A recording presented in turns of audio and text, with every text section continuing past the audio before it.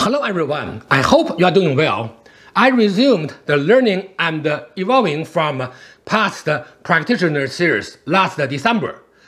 Learning about important practitioners in history, their experiences and their learning path gives us a lot of valuable information and inspiration to follow their learning path in practice. As explained before, the term learning from previous generations does not mean merely learning what they practiced, but it actually means to discover how they practiced. In other words, we should learn their path of practice. Today, I will introduce Chen Fake, one of the best Chen style Tai Chi masters in history, the great Tai Chi legend of the last century. But first, let's warm up with Dao De Jing commentary and Xiu Dao. Today, we will talk about two important sentences in chapter 4, He Qi Guang, Tong Qi Chen. In this chapter, Lao explained his philosophical concept of the origin of the world. Lao attributed the existence of everything in the universe to Tao. Lao Tzu denied the divine power as the origin of the world. He said, quote, 缘兮似万物之宗. Translation, Tao is profound and deep. It appears to be the honored ancestor of the 10,000 creatures. In the translation. At the end of this chapter, he continued, quote, 战兮似或存， 吾不知谁之子，象帝之先. Translation, how pure and still the Tao is, as if it would even so continue. I do not know whose son it is it might appear to have been before God. In the translation. So here, Lao Tzu hinted that Tao existed before God and that Tao is the origin of all things. In the middle of this chapter, Lao Tzu talked about how an individual should act by following the principle of Tao using four sentences. They are quote, 戳其锐，解其分，和其光，同其尘. End quote. Translation: We should blunt our sharp points and uh, unravel the complications of things. We should temper our brightness and uh, bring ourselves into agreement with the obscurity of others. End translation. So, the key term we are learning today is the last two sentences. 和其光，同其尘。和 means temper, harmonize. 其 means is. 光 means light, brightness. 同 means as. 尘 means dust, small or unimportant things.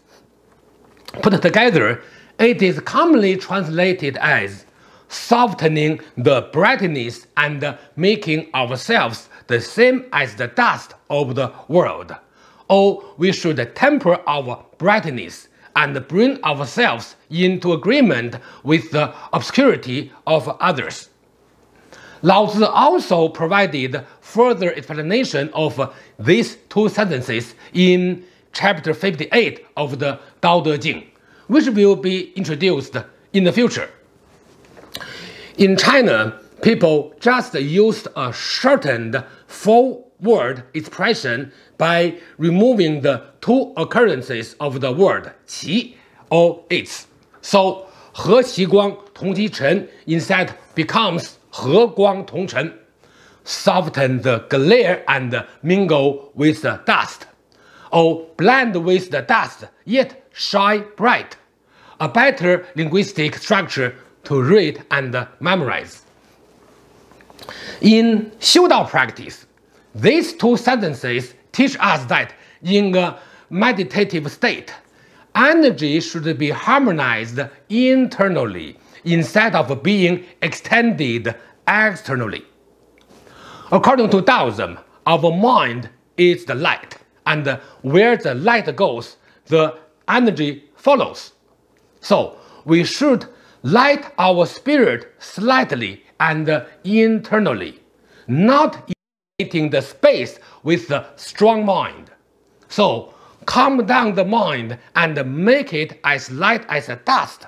In other words, the mind is so calm that dust, which is a very light object and can be easily disrupted by a slight wind, can remain still.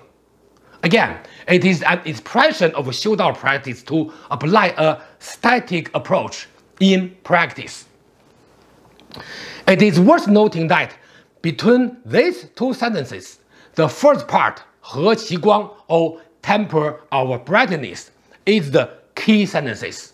So, even though there are four sentences in total, including two key sentences, 和其光 is the most important. To summarize, 和其光同其尘 or its shortened form 和光同尘 is the key concept in this chapter to explain the correct Xiu Dao method to manage the mind in the meditative state. With that, let's dive into today's main topic, the introduction of Chen Fa-ke, a great Tai Chi legend, and his practice.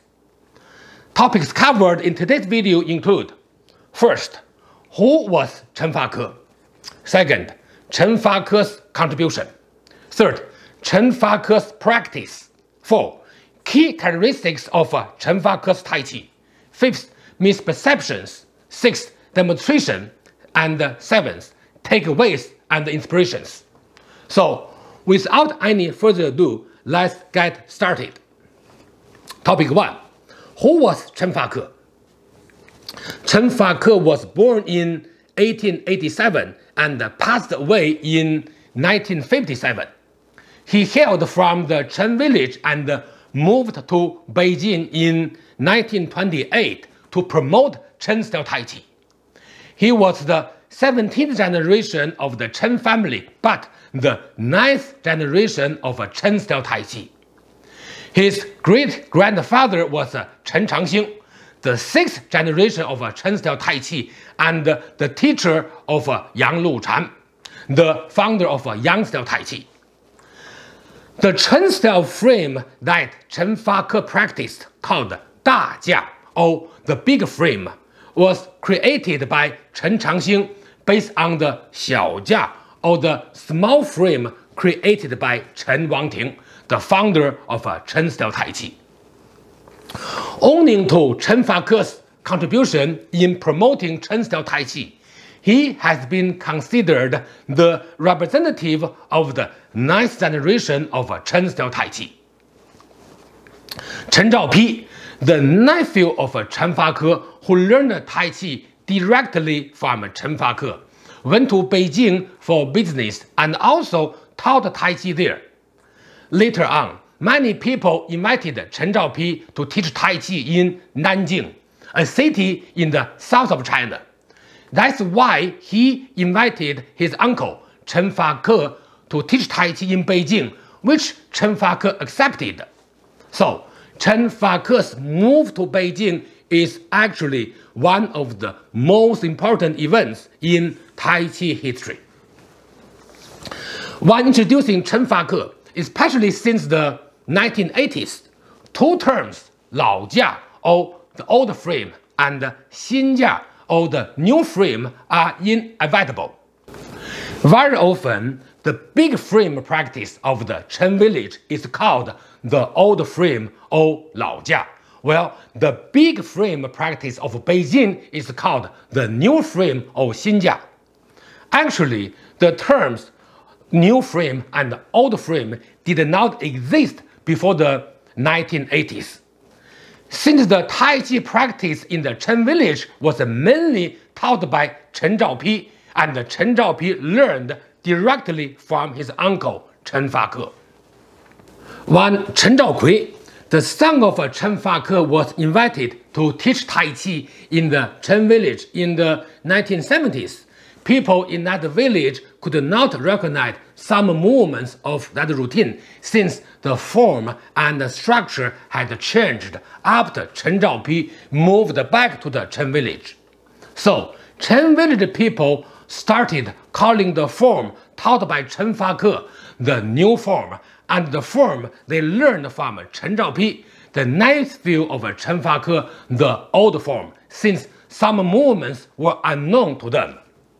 Check out my video titled Tai Chi Debate, Chen Style New Form Xinjia versus Old Form Laojia, talking about this history. Link is in the description. There are many testimonials and stories about his great Tai Chi practice. However, those are beyond the scope of this video. So let's move on to the next topic. Topic 2. Chen Fake's contribution. After he moved to Beijing in 1928, he contributed his entire life to developing and promoting Chen style Tai Chi.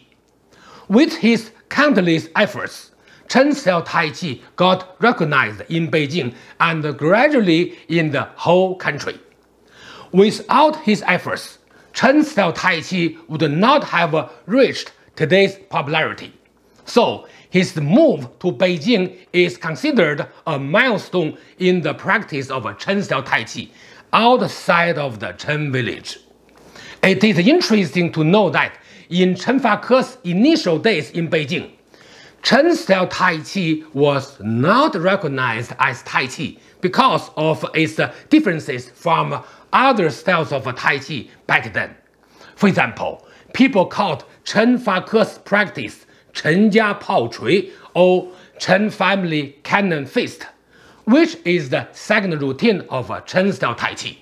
So many people in the Beijing Tai Chi community classified his practice as a cannon fist instead of using the term Tai Chi.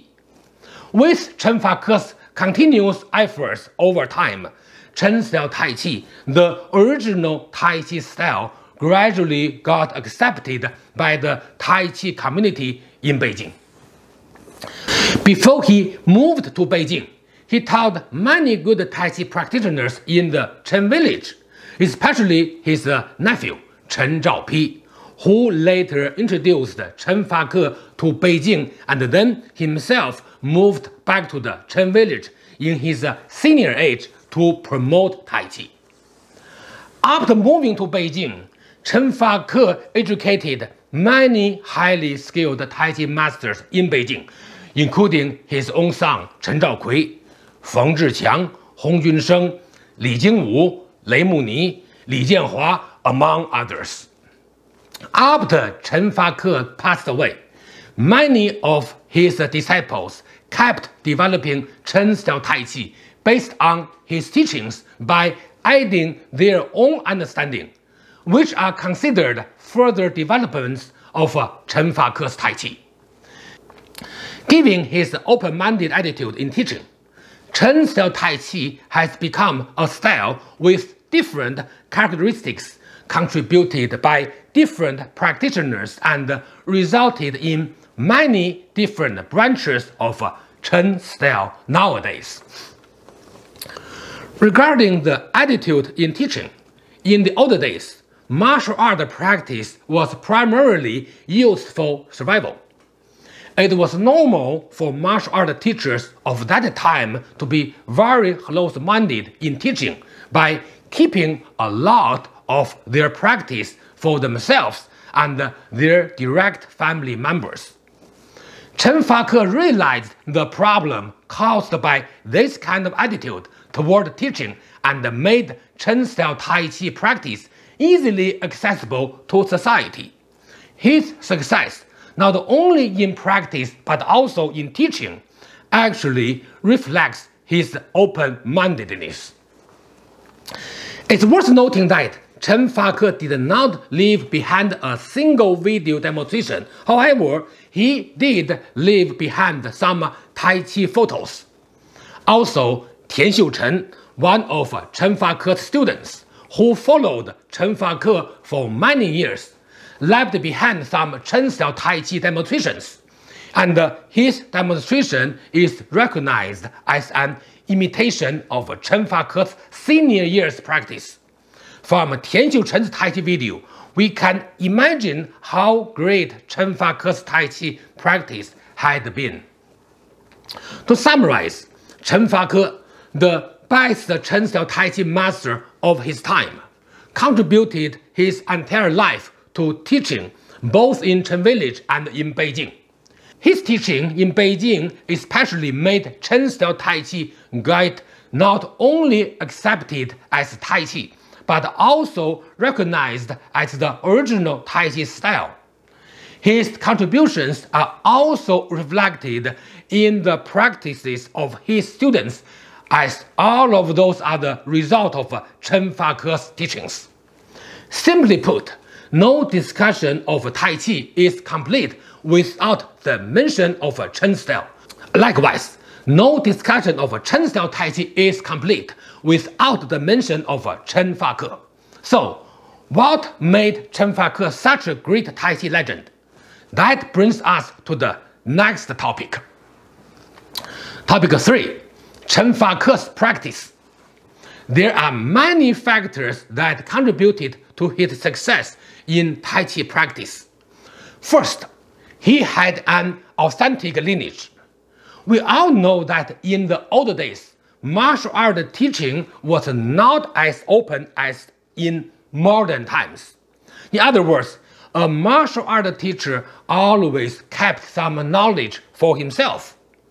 The same situation occurred even while teaching different family members. For example, the teacher would teach everything he knew to his oldest son, but not to other children. Now, you may wonder why it was so. Well, that was just the cultural norm back then since martial arts were used for survival in Chinese history. Later on, it became an art over and above a mere fighting skill. Even so, there are still a lot of details that the teacher would keep for himself, not others. Since Chen Fake was taught directly by his father Chen Yanxi, one of the best Chen style masters of his time. His father did not hold back any knowledge when teaching his son. By the way, Chen Yanxi was invited to teach Tai Chi at Yuan Shikai's home. Yuan Shikai was the first president of the Republic of China in 1912. Chen Fake was extremely dedicated to his practice. Since he started practicing his family art in his teenager years, comparatively late according to the old standard, he practiced many times per day. According to testimonials, he practiced 60 times per day. In other words, his daily life was just practicing Tai Chi. This number may be a bit exaggerated. Regardless, he worked very hard to improve his skill. Even after he moved to Beijing, he continued to practice Tai Chi for many hours every day in order to improve his practice. Hong Junsheng, one of Chen Fake's best disciples, said that wherever Chen Fake lived, two lines of bricks on the ground would always get destroyed due to his practice Tai Chi. Yes, Chen Fake's Tai Chi was great. In addition, he also trained for physical strength. For example, he used heavy metal weapons as a way to train his strength. While others only emphasized internal strength, Chen Fake also improved his physical strength and applied it to his Tai Chi practice. In the old days, training Tai Chi with a heavy martial art weapon was a common approach, but in modern times, it has been widely neglected by many practitioners, which should be corrected in the future if one is to follow Chen Fake's practice.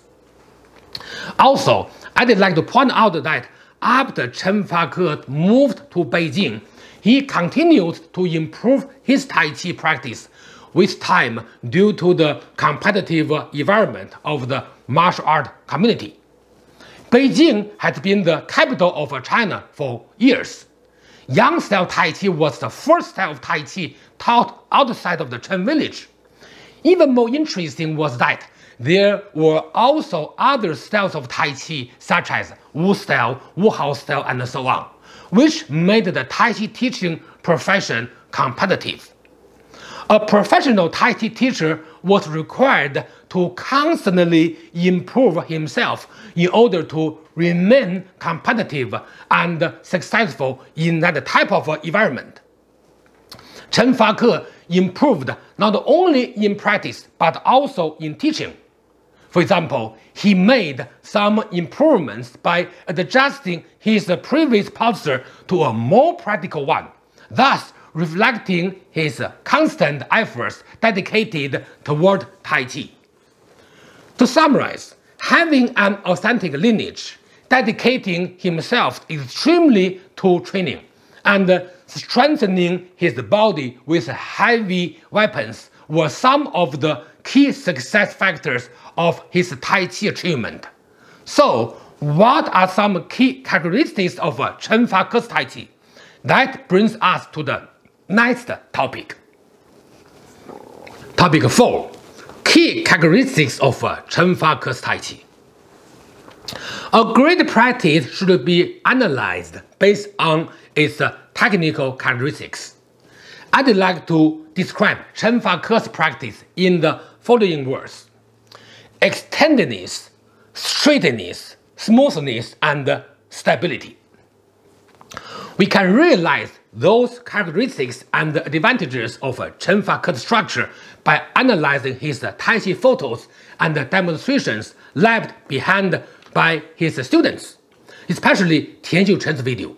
Now let me explain all four characteristics one by one. First, extendedness. Chen Fake's Tai Chi was the Da Jia O big frame form developed by Chen Changxing. This form applies an extended body structure compared to the compact Tai Chi body structure. This type of Chen style has an always extending motion in handling the overall movements, which makes Tai Chi Fajin or Tai Chi power release more penetrative. Please watch a couple of the Chen Fake's photos, which illustrate the extendedness of his style. Second, straightness. Chen Fake's Tai Chi body structure is the naturally relaxed but extended approach. This style emphasizes on the body's straightness. However, the straightness is not managed by the practitioner's back posture, but by the relaxed state of the hips. So, sinking the hips downward in a relaxed state is the prerequisite of this body structure. Also, it is worth noting that Chen Fake's big frame Tai Chi emphasized a straight back at the end of each movement. In other words, the body can still lean forward or sideways during power generation. Please look at a couple of Chen Fake's photo and you will notice these characteristics. Third, smoothness. Chen Fake's form emphasizes the smoothness of energy transfer between two movements. To reach this level, it is important to focus on the energy transformation instead of focusing on the mechanical changes between two physical movements. It is also very important for a smooth transition between any two movements in a circular manner which reflects one of the most critical Tai Chi principles, the foundation of a Chen style silk reeling energy. Fourth, stability. Chen Fa Fake's Tai Chi extended posture makes the low and straight stance possible. Also, it requires a practitioner to handle weight shifting movements carefully. In order to do so, body stability especially in a dynamic state, for example, when stepping forward, weight transfer should occur after the stance has already stabilized. This gradual weight shifting practice not only requires dynamic stability, but in fact also makes it possible. Please look at a couple of Chen Fake's photos and you can notice these characteristics. To summarize, Chen Fake's great Tai Chi achievements were based on many factors. Analysis of each of the four factors will help a practitioner not only avoid unnecessary mistakes in practice, but more importantly, will help a practitioner master Chen style Tai Chi, especially Chen Fake's big frame Tai Chi, much easier. So, pay attention to these words when you practice Chen style Tai Chi. Are there any misperceptions of Chen Fake's Tai Chi? Let's look at them in the next topic. Topic 5 Misperceptions. Chen Fake's great Tai Chi practice and outstanding contributions in promoting Chen style Tai Chi in Beijing have made him an iconic figure in the Tai Chi community. However, there are definitely some misperceptions of his practice in the community today. For example, some people claim that Chen Fake's emphasis on force training goes against the Tai Chi principle since Tai Chi practice should be 用意不用力 or applying mind but not force. This is a misperception. Let me debunk it today. 用意不用力 or applying mind but not force is originally from the article titled 太极拳书十要 Tai Chi Chuan 10 Principles. This article was documented by Chen Weiming based on Yang Chengfu's teachings. In this article, Chen Weiming listed 10 important Tai Chi principles, the sixth principle being 用意不用力. So some people said that it is incorrect to practice Tai Chi with force, even cite this proverb to criticize Chen Fake's practice. Yes, any internal self martial art and also the external self martial art for that matter all emphasized the word yi or mind, since we all know that mind guides the movement. So there is nothing wrong with emphasizing the word mind here. However, how about the li or force component? Is it taboo to use force in Tai Chi practice? Not at all.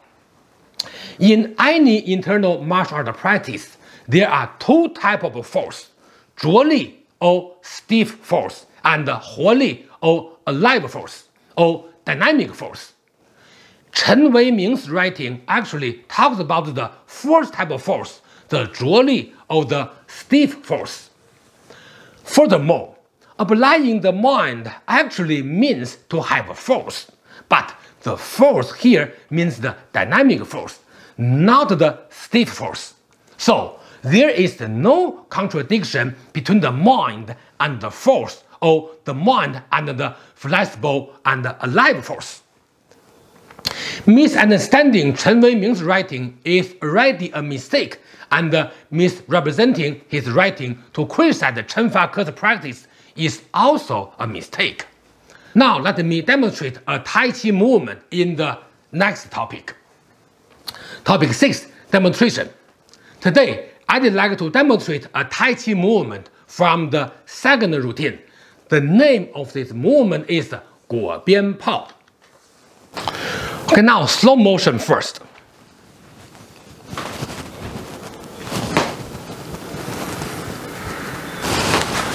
Now with uh, force.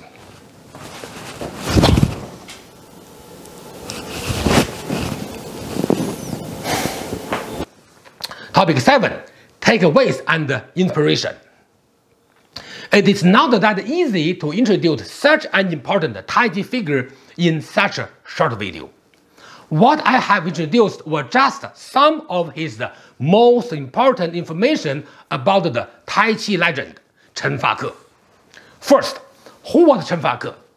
He was the 17th generation of the Chen family, but the 9th generation of uh, Chen style Tai Chi, who promoted Tai Chi in Beijing. Second, Chen Fake's contribution. Not only he promoted the Chen style Tai Chi in Beijing, but also and more importantly, he improved that style by emphasizing the silk reeling energy practice, the fundamental practice of that style. Third, Chen Fake's practice was great because of many factors. Authentic lineage, extreme dedication to training, and strengthening his body with heavy weapons. 4. Key characteristics of uh, Chen Fake's Tai Chi are extendedness, straightness, smoothness, and stability. Fifth, misperceptions. A common misperception is that Chen Fake's emphasis on force training goes against the Tai Chi principle since Tai Chi practice should be Yung Yi Bu Yung Li or applying mind but not force. Remember, that is the misperception. Applying the mind actually means to have a dynamic force. That brings us to the end of today's video. Thanks for watching, see you next time, and uh, enjoy your practice.